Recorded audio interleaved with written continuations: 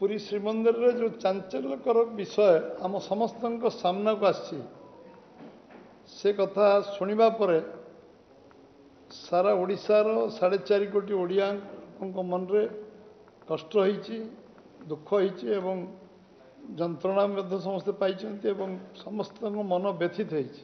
ଚିନ୍ତାଜନକ ବିଷୟ। ଚିନ୍ତା ବଢ଼ିଛି ସମସ୍ତଙ୍କର।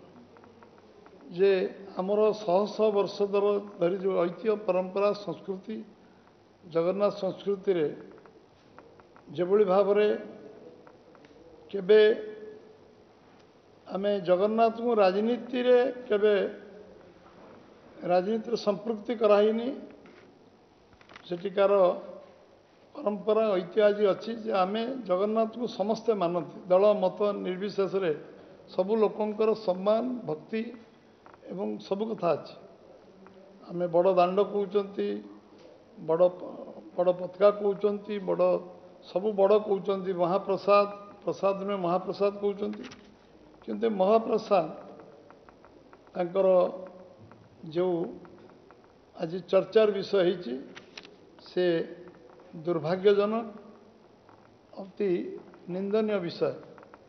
ଯେ ଯେତେବେଳେ ଲୋକ ସମାଜର ଲୋକ ଯେତେବେଳେ ପ୍ରଶ୍ନ କଲେ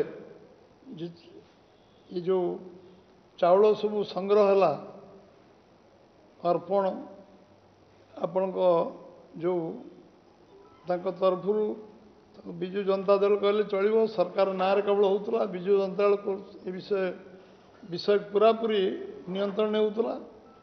ବିଜୁ ଜନତା ପରେ ଯେଉଁ ଅର୍ପଣ ରଥ ବୁଲୁଥିଲା ସେଥିରେ ଚାଉଳ ଓ ପଇସା ସଂଗ୍ରହ ହେଉଥିଲା। ଲୋକ ପ୍ରଶ୍ନ କଲେ ଚାଉଳ କେଉଁଠୁ ଆସିଲା? ଚାଉଳ କୁଆଡ଼େ ଗଲା?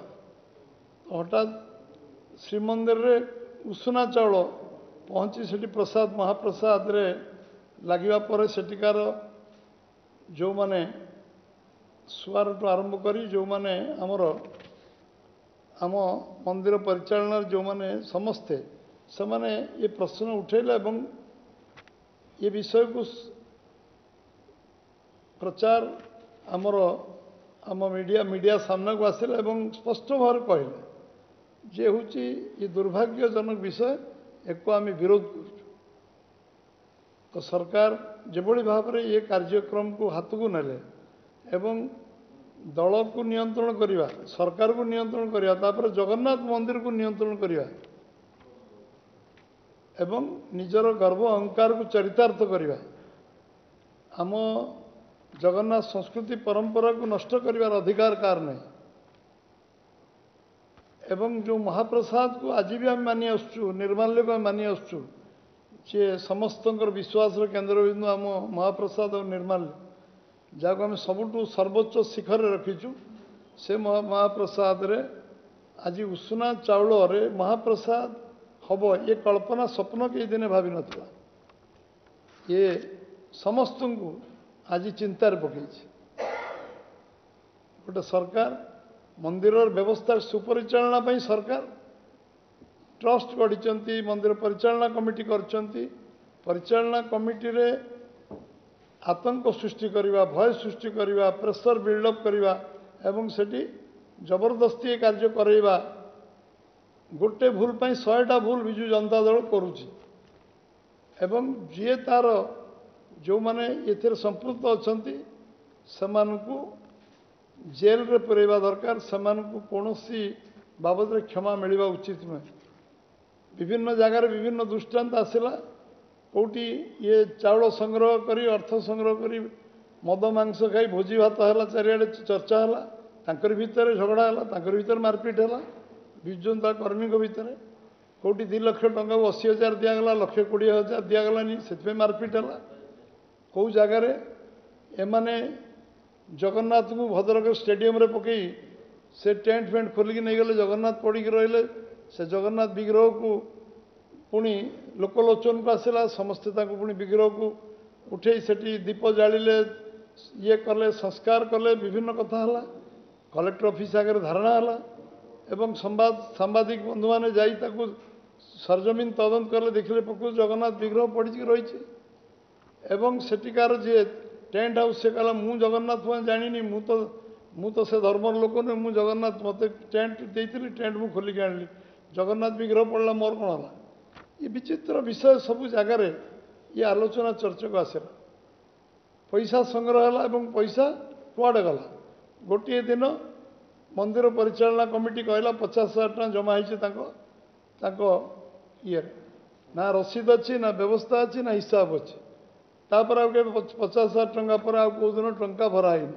ସେ ପଇସା ସଂଗ୍ରହ ପଇସା କୁଆଡ଼େ ଗଲା? ଏଇଟା ସାଧାରଣ ଲୋକଙ୍କ ପଇସା। ଯଦି କିଏ ବ୍ୟକ୍ତି ବିଶେଷ ପଇସା ଦେଉଥାନ୍ତା ମୋ ପଇସା ମୁଁ ଦେଲି ସେଥିରେ କାହାକୁ ହିସାବ ଦେବାର ନାହିଁ। ଆମେ ପବ୍ଲିକଠୁ ସାଢ଼େ ଚାରି କୋଟି ଲୋକଙ୍କଠୁ ପଇସା ଆଣୁଥିଲୁ। ଏକରେ ଆମେ ଯେଭଳି ଭାବରେ ଇଏ ନାଟକବାଜି କଲେ ଏବଂ ଯେଭଳି ଭାବରେ ବୁଲିଲେ ଆମେ ଯେମିତି ଜଗନ୍ନାଥଙ୍କୁ ଅପମାନିତ କଲେ ଏବଂ ଆମ ମହାପ୍ରଭୁଙ୍କୁ ଯେଭଳି ଭାବରେ ଆମେ ଗାଁ ଗାଁରେ ସମ୍ମାନ ପ୍ରଦର୍ଶନ ଯେଉଁ ଲୋକ ଦୂର ଦୂରାନ୍ତରୁ ସାରା ଦେଶ ବିଦେଶରୁ ଲୋକ ଜଗନ୍ନାଥ ଦର୍ଶନ କରିବାକୁ ଆସୁଛନ୍ତି। ଏବଂ ଗୋଟେ ତ ଗୋମାଂସ ଯିଏ କେଉଁ ଗର୍ବର କହୁଛି ଗୋମାଂସ ମୁଁ ଖାଉଛି ତାକୁ ନେଇ ମନ୍ଦିର ପ୍ରବେଶ କରାଇବା। ତାପରେ ସେଇମାନେ ଏଇଭଳି କାର୍ଯ୍ୟ ପୁଣି ଉଷୁନା ଚାଉଳ ଖୋଇବା ଏବଂ ସେ ଅର୍ଥକୁ ଆତ୍ମସାତ କରିବା। ଚାଉଳକୁ ଆତ୍ମସାତ କଲା ପରେ ପୁଣି ଚାଉଳକୁ ମିଲ୍ ମାଲିକଠୁ ଆଣିକି ସେଠି ଉଷୁନା ଚାଉଳ ଭର୍ତ୍ତି କରିବା ମନ୍ଦିରରେ। ଇଏ ଇଏକୁ ଭାରତୀୟ ଜନତା ପାର୍ଟି ଏକୁ ବିରୋଧ କରୁଛି ନିନ୍ଦା କରୁଛି ଏଭଳି କାର୍ଯ୍ୟକୁ କେବେ ବରଦାସ୍ତ କରାଯିବନି ବୋଲି ଆମେ କହୁଛୁ। ଏବଂ ଏ ଖଟୁଳି ଖାଇ ମାନେ ଠାକୁର ଖାଇବାକୁ ବସିଲେଣି ମାନେ ସବୁଆଡ଼େ ହାତ ପକାଇ ଏନ୍ଆର୍ଜିଏସ୍ଠୁ ଯେତେ କରପ୍ସନ୍ ହେଇପାରିବ ବିଶ୍ୱର ସବୁ ଦୁର୍ନୀତିକୁ ଜଣା ପି ଏଚ୍ ଡି କଲେଣି ମାନେ। ସବୁ ଦୁର୍ନୀତି କଲା ପରେ ଜଗନ୍ନାଥଙ୍କ ପଇସା ମଧ୍ୟ ଲୁଟପାଟ କରିବା ଲୁଟମାର କରିବାର ଏମାନେ ତାକୁ ବି ପଛକୁ ଗଲେ ନାହିଁ। ଇଏ ଗୋଟେ ବହୁତ ଭାବପ୍ରବଣ ବିଷୟ। ଆଜି ଆମେ ଜଣେ ଓଡ଼ିଆ ହିସାବରେ ଗର୍ବ କରୁଛୁ। ଆମ ଆମକୁ ପରିଚୟ ଆମକୁ ଭାରତବର୍ଷରେ ଯେତେବେଳେ କେହି ଜାଣୁନଥିଲେ ଜଗନ୍ନାଥ ଅଞ୍ଚଳରୁ ବୋଲି ଆମକୁ ସମ୍ମାନ ମିଳୁଥିଲା। କେଉଁଠୁ ଆସିଛ ନା ଆମେ? ଓଡ଼ିଶା କହିଲେ ଜଗନ୍ନାଥ ଧାମ। ଜଗନ୍ନାଥ ଧାମର ପରିଚୟରେ ଆମେ ପରିଚିତ ହେଉଥିଲେ। ସେଭଳି ଜଗନ୍ନାଥଙ୍କୁ ଦୁର୍ନାମ କରିବାରେ ଗୋଟେ ବ୍ୟବସ୍ଥା ଜଗନ୍ନାଥଙ୍କ ନାମକୁ ଆହୁରି ଉପରୁ କେମିତି ଯିବ ତା ପାଇଁ ବ୍ୟବସ୍ଥା ସରକାର ଚିନ୍ତା କରିବା କଥା ଏବଂ ଯେଉଁ ଦଳ ସରକାରରେ ଅଛି ବିଜୁ ଜନତା ଦଳ ସେମାନେ ଜଗନ୍ନାଥ ନାଁକୁ ବିକିକି ଭୋଟ ରାଜନୀତି କରିବାର ଯେଉଁ ଅପଚେଷ୍ଟା କରୁଛନ୍ତି ଏଇଟା ତାଙ୍କ ପାଇଁ ତାଙ୍କ ପାଇଁ ବୁମେରାଙ୍ଗ ହେଇଛି। ସେ ଭୁଲ କରିବା ଭୁଲକୁ ପ୍ରାୟଶ୍ଚିତ କରିବା ଦୂରର କଥା। ଗୋଟେ ପରେ ଗୋଟେ ଗୋଟେ ଗୋଟେ ଭୁଲ କରିଯାଉଛି। ଟଙ୍କାର ହିସାବ କାହା ପାଖରେ ଅଛି? କିଏ ଦେବ ଟଙ୍କା ହିସାବ? ପଚାଶ ହଜାର ଟଙ୍କା ଗୋଟିଏ ଦିନ ଜମା ହେଲା। ଆଉ ଯେଉଁ ଅର୍ପଣ ଯାତ୍ରା ବୁଲିଲା ସେ ସେ ସେ ଟଙ୍କା ସବୁ ଗଲା କୁଆଡ଼େ? କାହା ପାଖରେ ସେ ହିସାବ ଅଛି? ସେ ଚିଠା କିଏ ଦେବ? ଇଏ ବିଷୟ? ଆମେ ସମସ୍ତେ ଅର୍ପଣ ରଥ ଏଇ ଯେଉଁ ଟଙ୍କା ଇଏ ଇଏ ଯେଉଁ ଅରୁଆ ଚାଉଳ ଆଦାୟ ହେଲା ସେତେବେଳେ ରାଜା ମଧ୍ୟ ଗଜପତି ଦିବ୍ୟସିଂ ଦେବୀ ମହାରାଜା କହିଛନ୍ତି ଯେ ଇଏ ଆମର ମନ୍ଦିରର ନିଷ୍ପତ୍ତି ନୁହେଁ ମନ୍ଦିର କମିଟିର ନିଷ୍ପତ୍ତି ନୁହେଁ। ଏ ବ୍ୟବସ୍ଥା ଏ ଭିତରେ ନୁହେଁ ଏଇଟା ଆମ ଆମର ତା ଦେହରେ କିଛି ସମ୍ପୃକ୍ତି ନାହିଁ ବୋଲି ସିଧା କହିଛନ୍ତି ଖୋଲା। ଏମାନେ ମଧ୍ୟ ଆଜି ଯେଉଁମାନେ ଆମର ଆମର ସେଠିକାର ସୁଆରଠୁ ଆରମ୍ଭ କରି ସମସ୍ତ ସେମାନେ ମଧ୍ୟ ଆଜି ଏ କଥାକୁ ବିରୋଧ କରିଛନ୍ତି ଖୋଲାଖୋଲି ବିରୋଧ କରିଛନ୍ତି।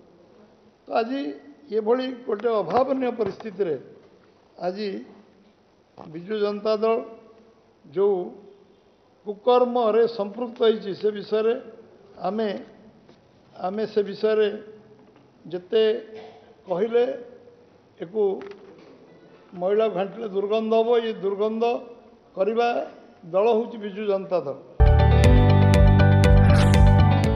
जदि आपण को आम भिडी भल लगा तेब आम चेल्क लाइक सेयार और सब्सक्राइब करने को जमा भी बुलां नहीं।